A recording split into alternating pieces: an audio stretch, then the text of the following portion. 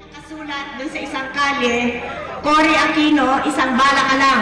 Hindi ako natatakot, ang sagot ko dyan ay Ferdinand Marcos, isang balota ka lang. I am returning to the Philippines because my country is now in crisis. We are in terrible economic crisis, and maybe soon we'll be having a political crisis. The uh, proclamation of martial law is not a military takeover.